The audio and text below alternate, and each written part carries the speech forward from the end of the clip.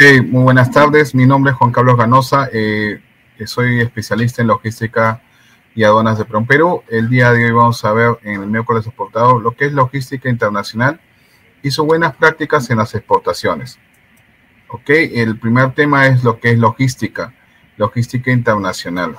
En esto es muy importante porque con el tiempo eh, recién se le está dando la importancia de por qué es, tan, por qué es necesaria una logística correcta.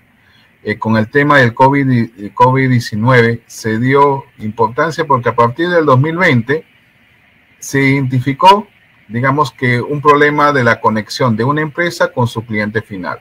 Estuvimos encerrados en nuestras casas y el que tenía que asumir la responsabilidad es él, la empresa distribuidora o el empresario fabricante, y ellos tenían que ver la manera de cómo satisfacer las necesidades de ese cliente, tanto nacionales como internacionales. ¿Ok? vio el aspecto del, del aspecto cómo llevar, transportar adecuadamente los embalajes, en las restricciones de ingreso. Entonces comenzaron a hacerse las interrogantes. ¿En qué momento o lugar tengo que entregar el producto? ¿En cuál es la cantidad necesaria que está demandando ese cliente? Porque ese cliente ya no sale, a, digamos, a, un local, ya no, ya no salía. ¿Qué tuvo que hacer? Restringir los días de entrega. Antes lo hacía todos los días, y ahora que lo tenía que hacer es por, ¿cómo se llama? Una vez al, día. O también se estableció acá en el Perú, si ustedes se acuerdan, una especie de modalidad que un día salían los hombres y otro día salían las mujeres. Entonces ahí teníamos la necesidad de identificar la cantidad necesaria para la semana, identificar la cantidad, el lugar donde se iba a entregarlo y cuánto era la demanda que necesitaban. Y la gente se preocupaba cuánto es el costo que necesito. Entonces ahí venía algo muy importante. ¿Qué es lo que requiero? ¿Qué producto? Si es un producto perecible, si es un producto, digamos, con, a granel o carga seca, o era un producto subvencionado. ¿Cuáles eran ese tipo de necesidades? ¿Ok? ¿Y cómo? Eh, ahí nace el aspecto de cuál es el empaque correcto a enviar, ¿ok? Para que pueda resistir mayor cantidad de días o para mantener o evitar que el producto, digamos, se valora en determinadas acciones y ahí darle las facilidades posibles a ese cliente que vamos a embarcar. Por ejemplo, el día de hoy, en, en ahorita a las 12 del día, apareció una empresa que estaba con la necesidad de exportar hacia el mundo, que hacia Miami, pero había hecho el negocio. Pero el vecino se dio cuenta que cuando le dijo la transferencia a la empresa, se dio cuenta que le habían descontado como 50 dólares. Entonces ahí nace ¿por qué me han descontado 50 dólares? Los 50 dólares, la, empresa me explica de que era, eh, hablando con el banco, le habían hecho un descuento por la transferencia bancaria. Después eh, se vio la necesidad del aspecto del transporte. ¿Con qué entidad lo hago? ¿Con una entidad del Estado como CEPOS o lo hago con una entidad privada? Digamos que lo puede enviar, que puede ser DHL, FEDES, UPS. Eh, ahí también nos mencionaba es cuál tipo de presentación es la adecuada el servicio que requiere. Entonces, ella quería un servicio que entregara en el menor tiempo posible, porque le habían dicho a la otra empresa que demoraba, la que es la otra empresa de transporte decía 15 días, y el cliente le ofrecía un tiempo, la otra empresa le ofrecía en dos, tres días. Entonces ahí tenía que haber comparativo, costo o tiempo de oportunidad. También otro punto importante es la rapidez. La rapidez eh, eh, de entrega, la oportunidad, el lugar y ubicación necesario y el valor que está dispuesto a pagar ese cliente. Ahora, dentro de esto tenemos la importancia de la logística internacional. Acá hay algo muy, muy importante que hay que tomar en cuenta. ¿Qué nos está exigiendo este nuevo, nuevo mundo? O digamos nuevas tendencias. Uno es reducir el costo, mejorar la satisfacción de los clientes a nivel nacional e internacional mejorar su proceso. El cliente quiere que sea un proceso que sea que tenga trazabilidad, es decir, que puedo saber en qué está en momento real, dónde está mi producto y que sea visible, es decir, que utilice un medio tecnológico en donde ese dato lo pueda, digamos, monitorear. Así como ustedes cuando compran una pizza o compran un pollo en el Perú, ¿qué hacen? Automáticamente es un pedido vía internet y automáticamente le sale por su aplicativo un aplicativo o le sale por su celular o el email que han puesto, ¿dónde está tu mercancía? Eso es lo que quiere el cliente para que para tener la certeza y evitar la incertidumbre de, o la ansiedad, digamos, de que ese producto ha sido una, una buena compra y no me han estafado. El otro punto importante que también se menciona ahora es consolidar los pedidos para tener un precio de flete correcto o más rentable. En este caso, articulación de los con los proveedores. Eh, ahorita, ahora último, estamos en una asistencia técnica y las mismas empresas nos decían, nos puede dar el nombre o digamos, o dar eh, quién puede brindar un servicio de predecibles. Entonces, una, una agente carga que pueda enviar correctamente a mis indicaciones o un agente de que tenga que pueda tramitar esos tipos de pedidos. ¿En qué almacén me recomienda? ¿En Piura? ¿O cómo se llama en Piura? ¿O en cómo se llama acá en el Callao? ¿O en, digamos, en Matarani? ¿Cuál es el transporte correcto para mi mercancía? Esas son preguntas que normalmente se hace este usuario. También otro punto importante es que la gente que de, esta, de estas generaciones sepan integrar mediante las tecnologías eh, de, digamos, de informáticos o de comunicación. La mayoría de nosotros ya ha utilizado como herramienta el WhatsApp, herramientas digitales, y esto se va implementando, por último, lo que viene a ser la implementación de indicadores de gestión. Y estos indicadores de gestión han dado mucha relevancia porque la gente quiere saber si las cosas están saliendo bien, si están saliendo mal, cómo las puedo, digamos, orientar correctamente o cómo puedo hacer un cambio que me permita, digamos, mejorar mi situación empresarial. Entonces, ahí ya hemos visto la importancia y qué objetivos está buscando esta logística internacional en el tiempo. Eh, simplemente, en este caso, estos objetivos están basados en, en el producto que yo envíe sea el producto adecuado, de acuerdo a esas necesidades que le requiere el mercado internacional. Para lo cual, en este caso, para ese producto adecuado, tengo que buscar la flexibilidad, es decir, adaptarse al cambio. Porque los usuarios no te van, digamos, nosotros tenemos un tipo de pensamiento de un producto, pero en el extranjero te dicen el tamaño no me gusta, el tipo de presentación tampoco no se adecua al mercado de acá, el color y demás cosas que tienes que hacer, adaptarlo como quiere ese cliente final. Después, la cantidad precisa, saber exactamente cuál es el volumen de envíos que se hacen mensualmente, semanalmente o anualmente, que es lo que para poder saber cuánto es tu demanda correcta para exportar la confiabilidad que le entregue ese producto en el momento exacto y que esto tenga un tiempo de espera que sea el correcto para embarcar en este producto a mínimo costo y en este caso tener nivel de inventario, es decir, tener la cantidad correcta para poder hacer nuestro para hacer nuestros embarques. Entonces, ya sabemos qué objetivos debemos, cumplir nosotros como empresarios en esta, en esta época, ¿no? Eh, otra cosa que también nos preocupaba a los exportadores era qué riesgos logísticos estamos afrontando ahora. Entre los riesgos es un poco la improvisación, es decir, que eh, esperemos a última hora hacer las cosas, diversas fuentes de información que en cristiano, para muchos expertos, mencionan es, eh, tengo como el teléfono malogrado. Uno me dice, por ejemplo, la gente Habana me dice, en tal hora o tal fecha tienes que embarcar. El agente Habana me dice, no, tienes que presentar documentos en tal fecha para que yo haga la numeración, para que pueda yo eh, hacer la inspección de aduanas y de ahí va a entregar los documentos. Entonces tienes diferentes canales que eso te puede ocasionar un problema a posteriori porque eh, tienes que establecer tu plan, tu plan con cada uno de estos actores en la cadena. Lo mejor que a veces se recomienda es que solamente tengas un solo canal, estas contradicciones y que no haya diferentes puntos de vista para hacer este tipo de operaciones logísticas. Otro punto que también a veces mencionan es no hay soluciones eh, para, los, para el cliente en tiempos de entrega. Es decir, si por ejemplo no cumpliste con entregar el producto a tiempo, aunque sea darle una solución, de qué fecha aproximadamente vas a cumplir con ese requerimiento. A veces te quedas en silencio y nunca le dices nada y el cliente se ocasiona una mala percepción sobre tu punto de vista. Eh, el transportista maltrata los productos, esto sí, eh, a veces en nuestro país eh, se maltrata mucho los productos, puede ser por aspectos climatológicos, porque la carretera está en mal estado, otro es el tratamiento que le hace a la mercancía el, transportista y esto ocasiona de que el producto tenga mayor cantidad de merma. Entonces tienes la pérdida de mercado. Esto que lo mencionan muchos especialistas es tienen muchos desconocimientos en las normas legales de producto. Es decir, embarcas al mercado internacional y no preguntaste antes qué requisitos de ingreso debe cumplir esa mercancía.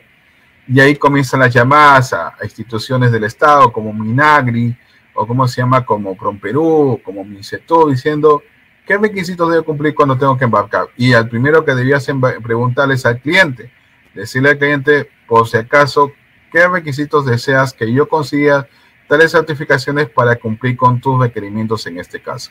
Un cliente satisfecho, menor rentabilidad en tu producto y la búsqueda de un cumplimiento individual como empresa. ¿Qué flujos tienes que conocer cuando embarques? Uno es el flujo de la mercancía. ¿A qué se refiere esto? Eh, el flujo de la mercancía es eh, cumplir con la demanda del cliente que viene a ser saber en qué ubicación geográfica se encuentra ese cliente se encuentra en Estados Unidos, ya, se encuentra en Estados Unidos, en Nueva York, Miami, en Houston. Tienes que saber porque Estados Unidos es bastante grande. ¿En qué localidad de, Houston? Eh, ¿Cómo se llama? ¿En qué horario tengo que ingresar la mercancía? ¿Qué tipo de artículos es el que requiere? ¿Qué tipo de presentación? ¿Cuáles son las tendencias que requiere ese tipo de mercado de? Composición de los pedidos, también hay decir si lo mando consolidado o lo mando, como se llama, eh, directamente urgente con él. El otro también es importante, es el transporte carga. ¿Cuál es el medio de transporte que es requerido para ese tipo de producto? Puede ser que esté mandando un producto como mango, pero hay gente que busca un mango selecto, entonces no se lo vas a mandar vía marítima, lo puedes mandar aéreo, porque puede que entre a un restaurante exclusivo. Entonces ellos sí están dispuestos a pagar un flete más alto, pero con la finalidad que el producto sea lo más fresco posible. La organización del circuito de entrega, saber cómo se distribuye en el mercado, mercado del cliente, gestión de entregas, saber cómo gestionarlo, es decir, saber exactamente, eh, tener un monitoreo mediante método de trazabilidad, método de seguimiento, qué es lo que el cliente con eso ya sabe y ya sabe, digamos, esto le permite, digamos, costear correctamente sus, después en los depósitos almacenes, es decir, para determinar el tiempo de almacenamiento, tiempo de vida o tiempo de distribución de producto. Es decir, cuánto es lo que requiero, su capacidad, jerarquizar sus pedidos, zonas de atención también es importante, implementarlo, construirlo y a veces los, estos depósitos almacenes, a veces no necesitas comprarlos, sino alquilarlo por un determinado tiempo. Otro flujo que también es requerido en este negocio es el flujo de información saber exactamente en este caso eh, qué información, características tiene tu mercancía que vas a, embarcar. Saber, uno, el tamaño del producto, saber las características en este caso, los sistemas de refrigeración que debe tener, los sistemas de conservación. Toda esa información es valiosa para que, digamos, puedas cumplir con los requerimientos en el menor tiempo posible. Ahora, las fases que a veces indican los usuarios, ¿cuáles son? Eh, uno es planificar, eh, que es para poder cumplir con las decisiones y objetivos de la empresa. Específicamente, los especialistas hablan de que es un listado de actividades. Ese listado de actividades tienes que mencionar claramente que eh, cada uno de ellos puede ser cuándo tengo que embarcar la mercancía, cuándo tengo, ¿cómo se llama?, que pasar inspección de aduanas, cuándo tengo que pasar inspección de SENASA. Entonces, si tú lo pones eso en cuadro, fechas aproximadas, horas que tienes que hacerlo, entonces ya tienes un, como un checklist de las posibles acciones a tomar. Eso es muy importante que lo manejemos. Organizarlo también es, en este caso, es juntar o acordarte, digamos, eh, acordarte de con quién vas a trabajar qué recursos son necesarios para poder hacer todas las actividades que has planificado, es decir, ya implementable. En este caso, tendría que ver cuánto de recursos humanos necesitas, cuánto personal para hacer esa actividad de exportación. Segundo es con qué recursos financieros de contar para pagar a cada uno de los proveedores eh, o actores de la cadena para poder cumplir con esos requerimientos. Recursos tecnológicos, cómo voy a hacer seguimiento del embarque correctamente. Entonces, todas esas preguntas son cosas que eh, yo lo he manejado y he tenido que tener aspectos que tomarlo en cuenta. Entonces, ya teniendo con el personal adecuado, los recursos financieros correctos, recursos tecnológicos y también la infraestructura, porque a veces necesitas locales como depósitos o necesitas eh, unidades de transporte y, eso involucra, digamos, que se pueda cumplir correctamente tu implementación de tu proyecto. Por último, es controlar, es saber cómo medirlo, es lo que ahora manejan mucho los jóvenes de ahora, que son indicadores de gestión. Es decir, lo puedes medir si la acción se está yendo llevando correctamente o, o algo puede ser si está, las actividades no se están cumpliendo. Entonces, con estos indicadores de gestión puedes establecer un plan de contingencia. Es decir, haces tu plan de contingencia estableciendo una medida correctiva que puede que dé resultados a la acción que estás pensando desarrollar. ¿Qué más eh, podemos hablar sobre esto? La finalidad de la logística internacional. ¿Qué es lo que estamos haciendo ahora los logísticos? Antes el que tenía, decían, el poder era el fabricante, pero con el tiempo el que es el rey o el que maneja todos los, todos los trabajos es el cliente. Y el cliente te va a decir en qué época es necesario embarcar esos productos, te va a decir cuánto está dispuesto a pagarlo, te va a decir también en este caso con quién podrías trabajar y, y también establecer cómo te voy a pagar el producto. Esas cosas, entonces tú te tienes que adaptar para satisfacer a ese cliente premium que necesitas para poder seguir laborando, seguir, digamos, eh, teniendo esas oportunidades de negocio. Otra cosa que también hemos notado es que si ya satisface ese cliente, él va a querer reducir los costos de la cadena. Pero acá vamos a tener que basarlo en una estrategia de costos o una estrategia de diferenciación. Eh, que si tenemos una marca reconocida, si somos expertos en ese tema, si, ¿cómo se llama? Si siempre estamos conectados con ese cliente que tanto nos exige y, deseamos no perderlo en este caso. Y por último, estos dos, dos, dos puntos importantes hacen que la logística sea lo más eficiente posible. Ahora, ¿qué es lo que añade valor? Siempre escucho este tema de qué es lo que añade valor. Eh, lo que añade valor en estos tiempos, ¿qué es?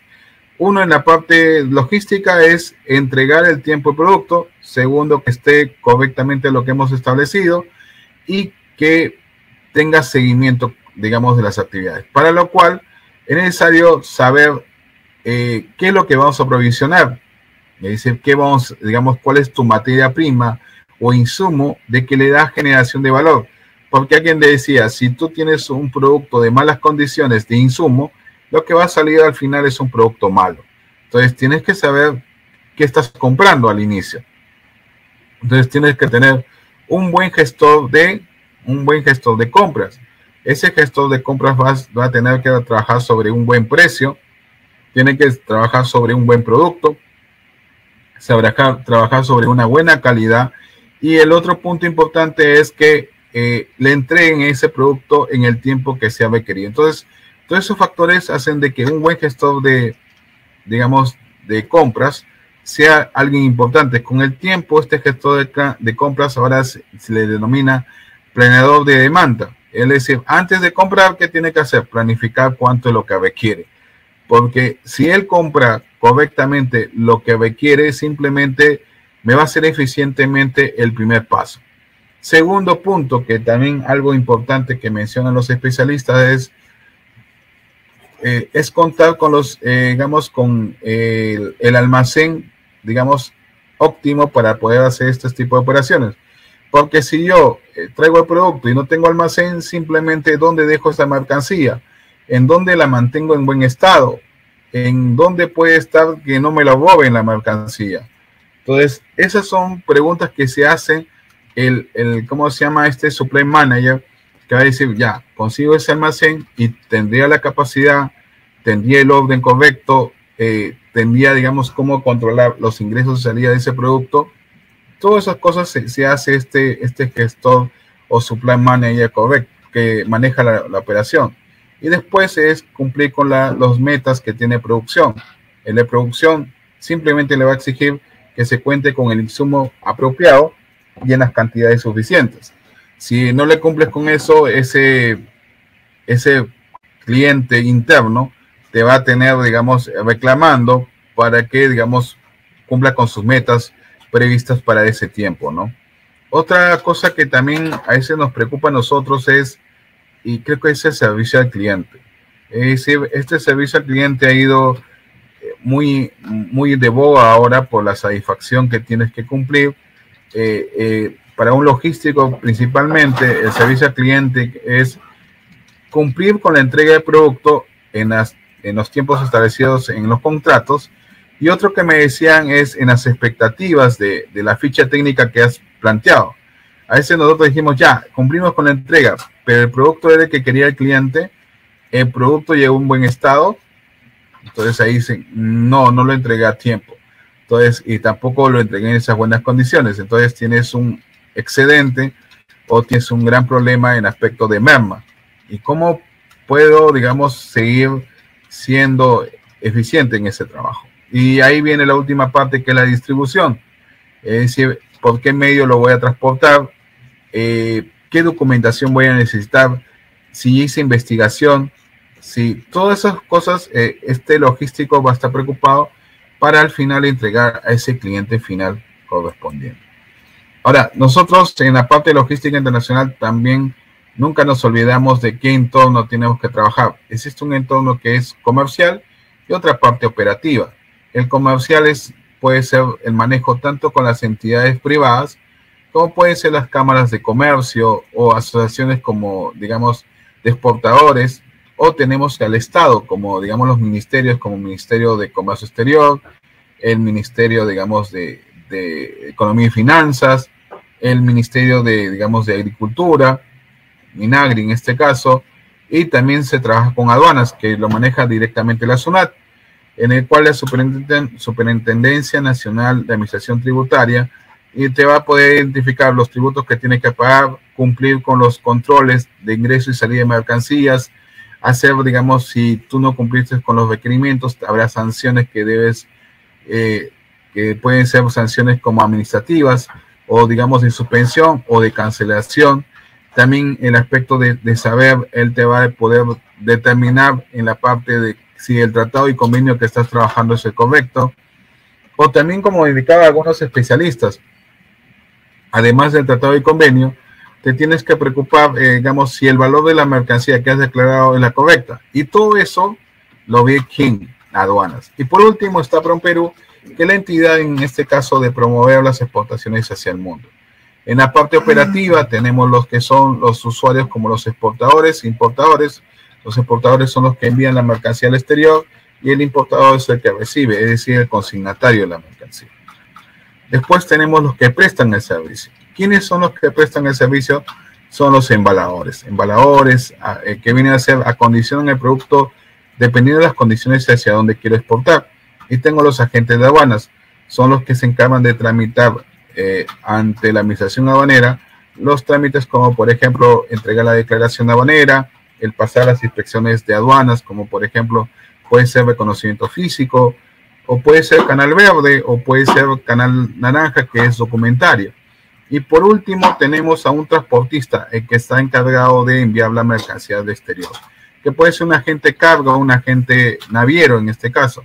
Pero nunca se olviden, este cuadrito es bastante importante porque te da un entorno con digamos, con el que lidias todos los días en la parte logística, en la parte de comercio exterior y a veces nos dicen con quién, cuáles son los actores de la cadena. Y este, este, este digamos, organigrama te da una idea clara y precisa de con quién interactúas normalmente. Eh, a veces dicen, eh, ¿por qué trabajo con los ministerios? Porque los ministerios dan el aspecto normativo que se tiene que trabajar en comercio exterior.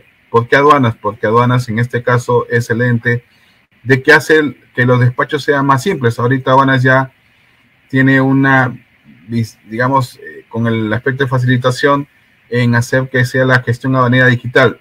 Antes yo me acuerdo, en descuento en los años 2000, que un, un, problema principal que teníamos los aduaneros era de que, por ejemplo, trabajas en San Isidro, tenías que entre, armar tu sobre y llevártelo hasta la aduana específicamente.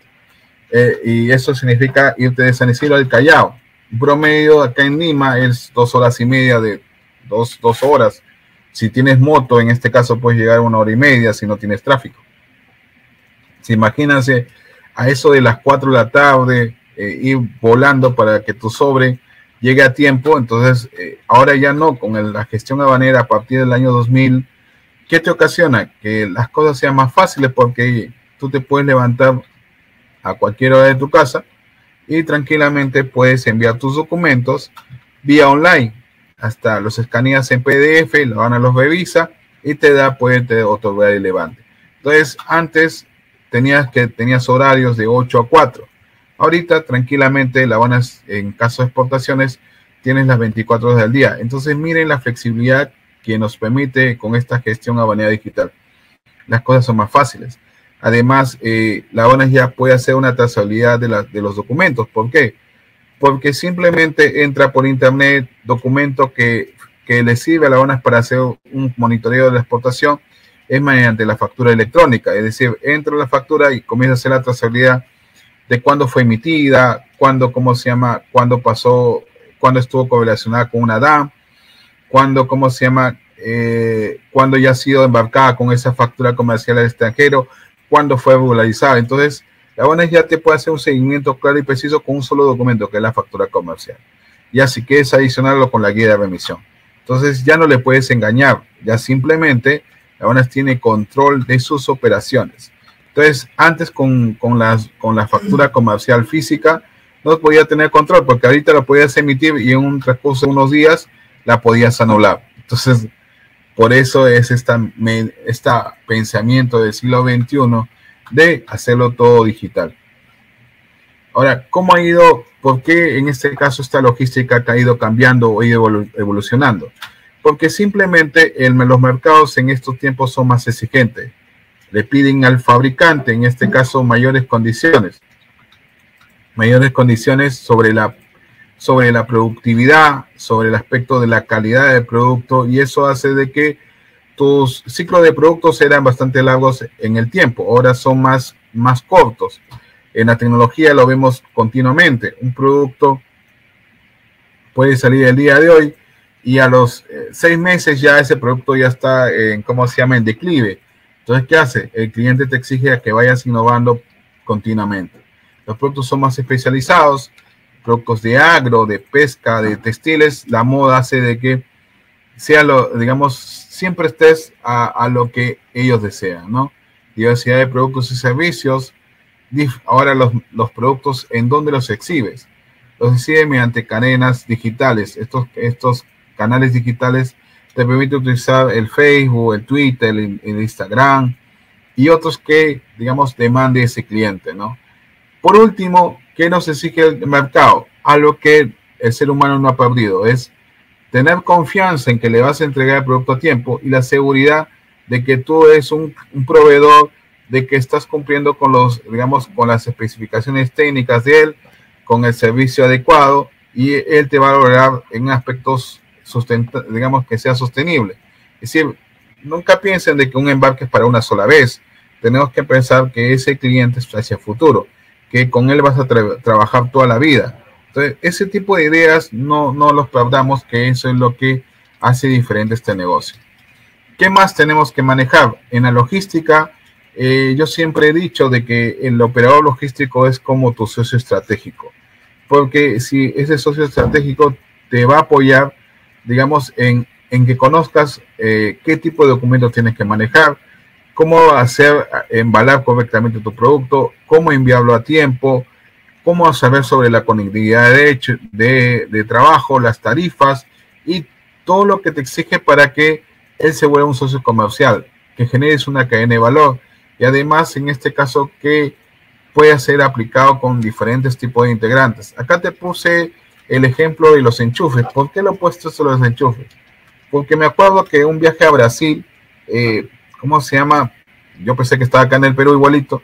Me voy a, ¿cómo se llama? A, hacer una conexión, digamos, vía online y simplemente me, di cuenta de que el enchufe era, no era igual que el nuestro, que el nuestro tiene, puede ser en, forma de, ¿cómo se llama? De dos, de dos palitos o puede tener dos circulitos en este caso, pero en otro país no es así. Puede que sea el enchufe de tres, ¿cómo se llama? De tres círculos que lo pone, lo enchufes y ahí en este caso, ¿qué tuve que hacer? Buscar un adaptador para poder, digamos, hacer, digamos, mi clase o, digamos, o mi videoconferencia. Entonces, ese enchufe, vengamos en un aspecto analógico, vendría a ser como el operador logístico. Entonces, no se olviden, esa persona está para ayudarte. Esa persona está para, digamos, para ayudarte, orientarte o para enseñarte, digamos, nuevos conocimientos que no los manejas en el mercado. Entonces, acá tenemos que pensar, existe el aspecto de flexibilidad en el modelo de negocio. ¿Cuál es el nuevo modelo de negocio en la logística internacional? No, unos mencionan de que tenemos que tener libertad, es decir, la capacidad de tener varias opciones para poder elegir quién es el operador correcto que nos puede ayudar en el negocio. Accesibilidad, en este caso, la posibilidad de acceder a cualquier sitio en cualquier momento y, en cualquier dispositivo, es decir, en aspecto de sponsor, que significa que puedo utilizar, puedo ver la misma videoconferencia mediante celular, mediante, ¿cómo se llama? Mediante una tablet o una PC o una laptop. Tengo diferentes opciones para poder seguir trabajando en ese aspecto. El otro, la exigencia. Comparación continua con la exigencia sobre las tarifas, sobre la calidad, las prestaciones de los servicios. Eh, otro punto importante es eh, la transparencia, conocer cuáles son los valores de esa empresa con la que trabajas. Si está trabajando sobre una responsabilidad social, si está trabajando sobre un aspecto de mejorar el medio ambiente, si está trabajando en apoyar a las personas que tengan eh, una edad, digamos, mayor. Entonces, eso es lo que se tiene, digamos, por transparencia. Diversión, la diversión queda únicamente en los momentos de consumo, de trabajo, o la rapidez en la red de las cosas, en este caso, que esperas eh, en los diferentes tipos de ámbitos, ¿no? Es hacer las cosas más rápidamente. Innovación, capacidad de adaptarse al cambio, en la forma innata, en la forma de, de cómo se llama, de ser más flexibles, ser más dinámicos en las tareas que tú trabajas. Otra cosa que también a veces nos preocupamos los logísticos es buscar colaboraciones. Por ejemplo, en la tarde un empresario que trabaja en Brasil, específicamente en Santos, tiene un embarco ahorita, en, ¿cómo se llama? En Paita, 16 contenedores a Santos. Ok, la línea naviera la ha estado, ¿cómo se llama? Reprogramando, ya, ya hay la primera, la segunda, la segunda dice tu embarque va a salir tal fecha, ya está en la tercera reprogramación, pero en este caso está como el turudú. ¿Qué significa? En este caso que nadie me contesta, nadie me dice nada. Entonces, cuando me dijo, cuando de pronto aparece un mensaje por WhatsApp y me dicen, mira, me han puesto en contacto la oficina comercial de Brasil. Ya, entonces le digo, y, y le conté, me dicen, no, tengo este problema que nadie me contesta esta línea naviera. Ya, entonces, ¿qué tuve que hacer? Entré a un WhatsApp de amigos que tengo de años. Le digo, ¿alguien conoce a, un representante comercial de la línea naviera tal? Y bueno, y dije, bueno, voy a ver si alguien me contesta, ¿no? Porque hace tiempo que no me, contesto, no me contacto con esa línea. Pero Dios gracias, un amigo de, de Avanza de hace varios años me contesta y me manda el mensaje. Juan Carlos, acá está el contacto. Dice, por eso le digo, este mundo es tan chiquito que a veces necesitas tener un ecosistema que te pueda colaborar inmediatamente, te pueda dar los datos. Bueno, este amigo me contestó, no demoró más de 15 minutos. Yo dije, bueno, nadie me va a contestar, me contestó al toque le he puesto en contacto con esta empresa eh, importadora que necesita sus 16 contenedores urgentes para que lleguen, digamos, a Santo Brasil y que ya no lo sigan programando. A Dios gracias que ya se ha puesto en contacto con esta persona y que sea filial. Entonces, no se olviden, este mundo del modelo de negocio logístico es también colaborativo, es decir, nunca pierdas tus contactos con otras personas. A Dios gracias que eh, mis amigos todavía me siguen contestando y si, digamos, si me ayudan con esta información que es necesaria, ¿no? ¿Cuáles son las estrategias que se están trabajando ahorita en la logística internacional? Entre las estrategias que escucho mucho de, la, de, los, de ustedes mismos que exportan, es tener un conocimiento del mercado. Es decir, si yo voy a exportar al mercado internacional, tengo que saber, eh, ¿cómo se llama? ¿Qué requisitos me va a pedir esa la empresa importadora? Por ejemplo, estábamos haciendo una auditoría para una empresa, una empresa exportadora de textiles que exportaba a Ecuador. Y escuchándole, el señor dice, sí, quiero, quiero conocer sobre el mercado. Y le digo, sí, mi cliente ya no quiere trabajar con, ¿cómo se llama? aéreo si no quiere trabajar terrestre. Ya, entonces, eh, con, hablando con ellos, le digo, pero dicho mercado, usted quiere cambiar de una modalidad término FOC a una modalidad DDP. Sí, entonces le digo, ya si usted asume esas responsabilidades, tiene que saber que en cada país tiene diferentes normativas. Puede ser que cruces la frontera y te digan tienes que hacer transbordo, cambiar de nave eh, o cambiar de medio de transporte porque en el otro país solamente entra transporte de dicho país. O no puede ser. El 2 te digan un ejemplo que también me pasó, que antes de cruzar la frontera te digan, señor, ¿sabe qué? A ver su combustible, a usted es combustible peruano, tiene que cambiar el combustible boliviano porque usted está yendo con, ¿cómo se llama?, con un precio menor al nuestro. Entonces, así pueden ser esas cosas. El otro puede ser que te pida, ah, si usted quiere ingresar con textiles acá, tiene que adecuarlo a un tipo de embalaje. Segundo, si usted quiere ingresarlo, tiene que pasar, eh, tiene que contar con un certificado de calidad.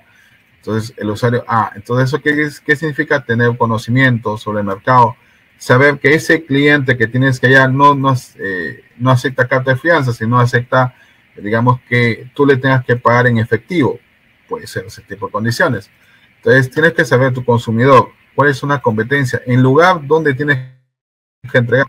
Puede ser que no sea entregado en, digamos, en frontera, sino entregado en zona, una zona mediterránea, en donde tienes que hacer todas las, las maniobras para poder, digamos, eh, no utilizar buques, sino utilizar un medio de transporte terrestre.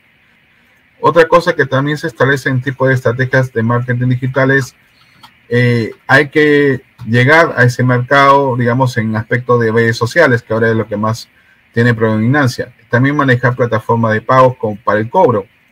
Entonces, eh, ahí vienen todos estos puntos que hay que saber analizar. Las estrategias de precio, qué tipo de, los, conocer los psicoteos de precio FOB, precio DDP, precio CFR, la distribución de mercancías, cómo llegó a ese mercado.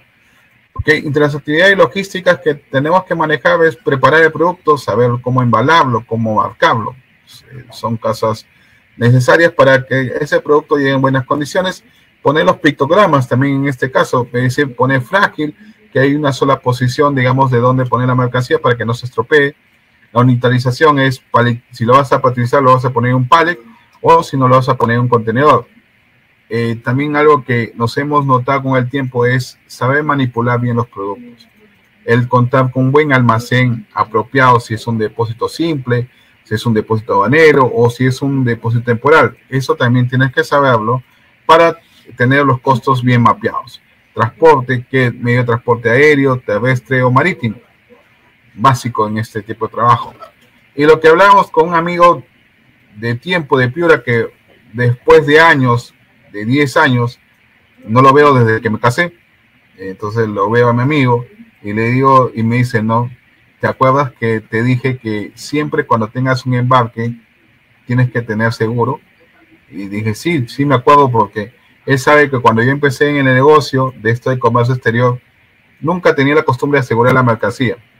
Y, y después, en un embarque, sí me pasó de que eh, no tomé esas consideraciones y tuve una pérdida bastante grande. Entonces, desde ahí, sí tengo que, siempre tengo que establecer bien mis riesgos, tengo que establecer cuál es la póliza correcta para hacerlo, cuáles son los riesgos que pueden pasar con esa marca. Si a veces eh, ponemos una póliza, y él sí me enseñó esto, eh, pólizas eh, por categoría C, que es cubre lo mínimo, pero si no sabes cómo es el mercado que vas a ingresar, tendrías que ponerlo contra todo riesgo. Entonces, son cosas que son necesarias que lo, lo, aprendemos, lo aprendemos, ¿cómo se llama? El peruano a veces lo aprende, digamos, con, con la experiencia, es decir, algo te pasó en un tipo de despacho. Entonces, a la, yo siempre, ¿qué hago? Anoto todas las cosas que me pasan o que le han pasado a una persona y lo pongo en mi, en mi bitácora. Y esa bitácora me sirve de que le diga a otra empresa qué es lo que tiene que tomar en cuenta. Documentación como facturas, certificados, documentos de pago, gestión de operaciones, el tener una declaración aduanera, en manejar lo que les comentaba de esta señora, hizo su primer negocio, toda confiada, y se olvidó de lo más principal, cuánto te cobra de comisión por transferirte el dinero al banco. Y yo se los había dado una, se lo había dicho en una conferencia, y la señora viene toda asustada, me dice, señor Ganosa, sí, usted me dije, señora, usted yo me acuerdo de su cara, y me acuerdo que sí le había dicho eso. Sí, me dice pero ya me han bautizado. Es decir, ya sabe de que para otra tiene que tomarlo en cuenta. Entonces ahí nace lo que son las buenas prácticas logísticas. ¿Qué nos dice el mercado? Es decir, ya tuvimos una pandemia.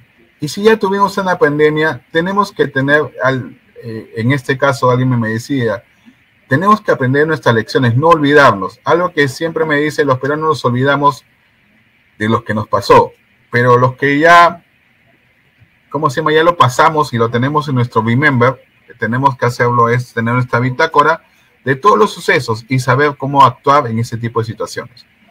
Hay que entender que la tecnología ha dinamizado este negocio. Es decir, los cambios que nosotros hemos tenido a partir de la pandemia se pensaban hacerlo en cinco años. Lo hemos hecho en cuánto? En un año. Eh, se, en este caso, cómo se intentó dinamizar la economía, recuperable en este caso inmediatamente, el buscar que el buscar saber el comportamiento del consumidor es muy importante, el prever, prever en este caso las experiencias de las compras útiles y sean relevantes y más rápidas. En estos factores logísticos, la prioridad en este caso es saber qué tipo de empresas necesito para generar negocios, cuál es la reacción que tengo que tener con ese cliente, cuál es la necesidad que tiene esa marca, ese socio post pandemia. Entonces, eso es lo que es una buena práctica que me lo, me lo explicaron unos amigos de ahí de Piura. Me dice, nosotros hemos aprendido mucho en la pandemia porque nos quedamos sin chamba dos años. ¿Ok? Dos años se quedaron sin chamba estos amigos y ahora dice, hemos aprendido de que tenemos que estar siempre, digamos, atendiendo a este cliente en todos los requerimientos que ellos deseen. Todo bajo la demanda, es decir, con muchos modelos de negocio, es decir, la mayoría de nosotros en todos los cursos de moto exportadora tenemos algo. Les enseñamos a hacer, lo primero que se le enseña a un cliente que trabaja en la moto exportadora es aprender a hacer un modelo de negocio, porque los modelos de negocio son dinámicos, son interactivos, son este, van cambiando según las situaciones y esto nos permite adaptarnos a las necesidades de las personas. Eso es necesario en este caso. Eh, otra cosa hay que eh, buscar cosas personalizadas, que se ajusten, digamos, a las necesidades de las empresas. Eh, otra cosa también que nosotros hemos aprendido, ok, es saber, eh, eh, ¿cómo se llama? Manejar, cómo usar las cosas en, en, este tipo de demandas. El otro es, los clientes quieren visibilidad, es decir, que tú le digas mediante herramientas digitales, exactamente eh, a los tiempos, eh, atendiendo las, las dudas que ellos tienen. Eso es lo que nos está pidiendo ese usuario. ¿Ok? La capacidad de respuesta al cliente es, eh, hay que mantenerlos felices, hay que buscar la fidelidad con él. El responder sus interrogantes es lo que estamos, lo que digamos estamos tendiendo a hacerlo para evitar la, la insatisfacción, sembrarle la autonomía, la, buscar, digamos, la potencial y oportunidades de negocio. Eso es básico ahora. ¿Hay que hacer ingeniería? Sí. ¿Ok? Ingeniería viene a ser eh, siempre buscar mejorar los procesos. Y, y, ahorita existe mucho lo que se llama gestión de proyectos. Es decir, son trabajo dinámico entre varias personas de diferentes tipos de carreras que dan su punto de vista y mejora, digamos, en los procesos colaborativos entre las empresas fabricantes y los clientes finales. Es decir, eso, se, eso es un término que se usa ahora. Hay que hacer ingeniería, es mejorar los procesos y evitar, en este caso, los desperdicios o memas que pueden pasar en los negocios que existen ahora. La tecnología del servicio de la logística, es decir, ¿qué cambió en esto? el comercio electrónico, el cambio de las dinámicas, el aspecto de lograr tener mayores ventajas. Esas ventajas, ¿cómo se está haciendo? Mediante la implementación de inteligencia artificial, el tener un aprendizaje autónomo, el mejorar los procesos logísticos, el tener también en este caso el Big Data, el análisis de la data de información, la última milla, ¿ok? Y la robotización, en este caso mediante sistemas inteligentes, que han diseñado que las cosas sean físicas, se faciliten, digamos, eh, el conocer cuánto de bodega tienes en un almacén, el abastecerte correctamente, y eso evita que tengas productos que digamos, no los vuelvas a utilizar otra vez, sino tener justo a tiempo el, producto que se está requiriendo, ¿no? Eh, otra cosa que también se menciona en estas épocas es identificación de producto. es los SKUs en este caso, ¿no? El objetivo primordial es que en una cadena productiva es facilitar la trazabilidad de producto al cliente final, el rastreo desde el consumidor final, el, digamos, generar buenos mecanismos de utilización de, a nivel internacional, el manejar etiquetas, el manejar los QRs que ahora están de moda. Ah, por ejemplo, siempre que hay que entrar a trabajar, nosotros tenemos un QR y con eso automáticamente nos hacen registro de asistencia. Si eso hacen con una persona, imagínense con un producto. Ok, los QRs están de moda porque te da exactamente la información que requieres, para lo cual necesitas tener el código de productor, manejar el código de proveedor, manejar los lotes, la fecha de salida, el nombre y la variedad de producto, manejar la temperatura de almacenamiento, el peso de producto, los tipos de productos y el código de barras. Imagínense toda información que ahora te está pidiendo ese cliente final. Certificaciones, es decir, eh, ahorita ya para que un producto sea diferenciado, para que te paguen más, para todo eso que te pide, certificaciones de calidad. ¿Ok? digamos, si tu cliente quiere tener una certificación de un producto de comercio justo, de un producto de responsabilidad social, de un producto, digamos, que tiene un proceso bien identificado, debes contar con las certificaciones que te exige el mercado, ¿no? Eso eso ha ido cambiando. Coordinación, los logísticos nos diferenciamos de otro tipo de personas debido a que, a que todas las actividades las tenemos que coordinar, tenemos que hablar con varios actores, tenemos como actores de transporte, como eh, actores de, de manipuleo, actores, de, digamos, de agenciamiento aduanero, de carga. Toda nuestra vida es, ahorita es el celular. Todas las actividades por WhatsApp, todas las actividades, digamos, mediante un aplicativo, un RP, o un, digamos, un SAC. Entonces, así está cambiando las cosas en este tipo de, trabajo. Y en transporte es donde tenemos bastante eh, este tipo de acciones, que es en consolidación, distinción de producto, definición de tipo de transporte. Eso es básico en este tipo de trabajo. ¿Qué documentos tenemos que hacer? Los documentos son, en este caso, hacer bien la factura comercial, hacer bien el certificado de origen, eh, los certificados sanitarios, eh, eh, que todos te digan antes de embarcar, chequea que esos documentos estén correctamente emitidos, porque si ya lo pasas en destino, vas a tener unos sobrecostos que son demasiado altos y eso va a hacer de que tu despacho no cumpla con el precio que tú has pactado, ¿no? Configuración de carga también es otra cosa que nosotros también hemos notado en el negocio, que existen variables como volumen, peso, valor de carga, Aquí hay que ver la unidad de carga con la que estás trabajando, el peso total de transportar, el configurar correctamente, en este caso mediante un volumen milimétrico, que es largo, ancho y altura, y el peso que tienes en este caso, requerimientos especiales, y el valor de la carga para asegurar también es necesario. Ok, determinación de los horarios de operación y, y reflexión.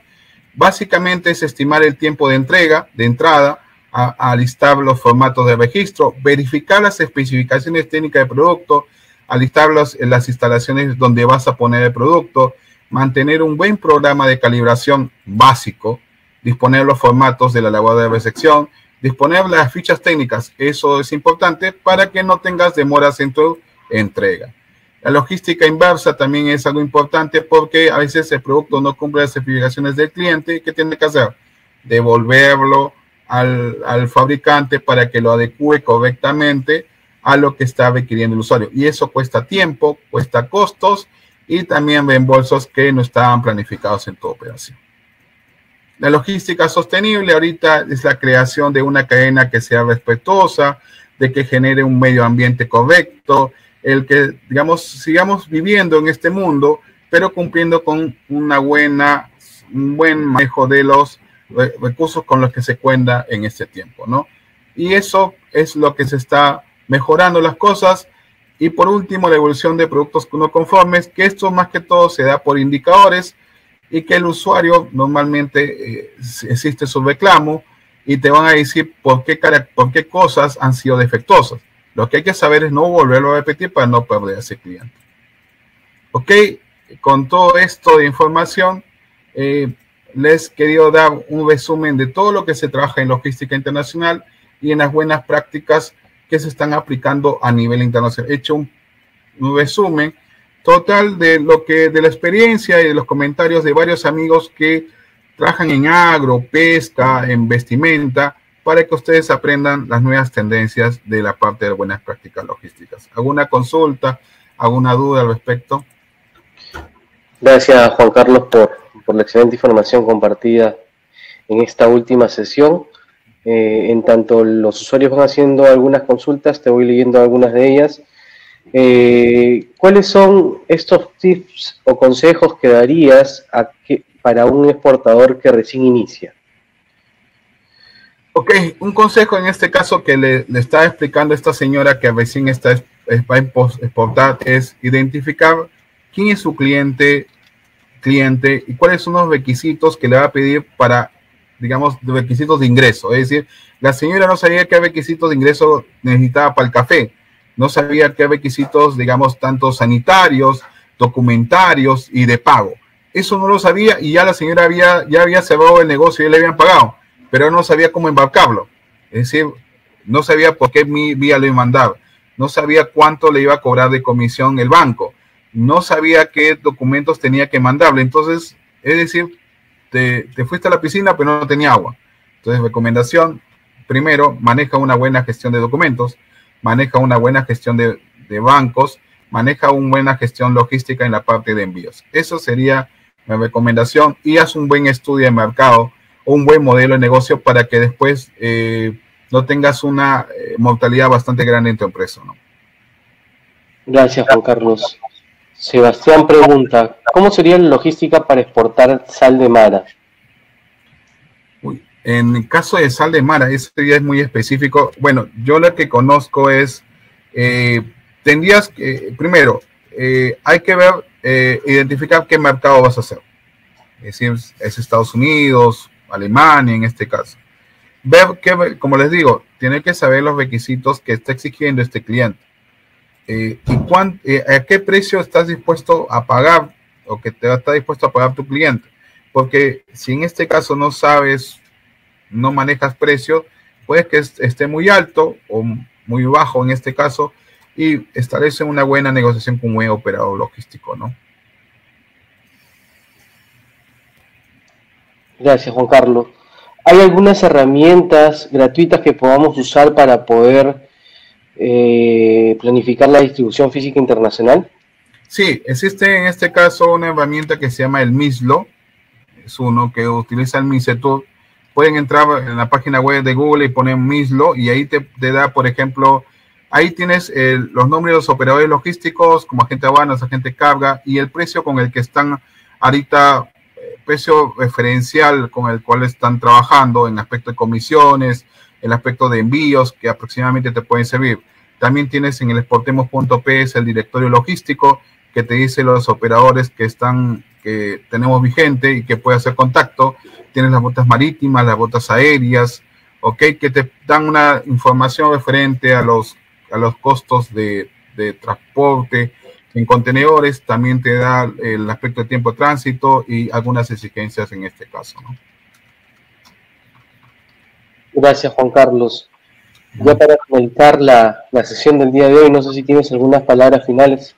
Sí, en este caso, una recomendación que les puedo decir a las empresas, por favor, antes de hacer cualquier envío, eh, primero eh, establezcan con quién están negociando. Es decir, algo que me está pasando continuamente es que hay quejas de muchos exportadores que después eh, no les están pagando por, temas de que hicieron el negocio, pero no establecieron cómo iba a ser la forma de pago. Después, eh, condiciones, digamos, que cuando envíen el producto, por favor, eh, eh, ¿cómo se llama? Check, mándele un, tómele foto al producto y cuando llegue allá, mire, así se estoy enviando con estas condiciones. Entonces ya el cliente ya no te puede decir que el producto está en mal estado o tiene algunos aspectos. Tómale foto antes de embarcarlo. establezcan, digamos, una inspección que puede ser una persona de la misma empresa o de, la, o de tu empresa pero que tenga el aspecto de fiabilidad del negocio. Eso sería unas recomendaciones básicas para evitar cualquier inconveniente en los despachos, ¿no?